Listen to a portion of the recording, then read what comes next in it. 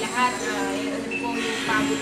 Sa akin yun yung ginawa para sa pamilya ko. Hindi man tayo nanalo, pero alam ko ginawa natin yung best natin. Lalo-lalo na kay uh, Ate Emma, kay Ate Reza, kay Pat, kay Ashley, kay Tia, kay Kim, kay e Tita Ems, kay Rose, kay Ate Ana, kay Ate Eva, and kay Ate Gloria. Thank you, thank you so much po sa inyo lahat.